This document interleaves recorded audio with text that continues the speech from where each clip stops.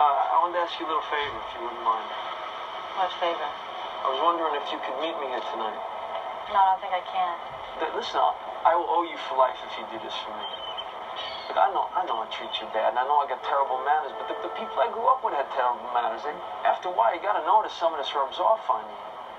Look, I'm telling you, there's a gentleman inside here that is dying to get out. Really.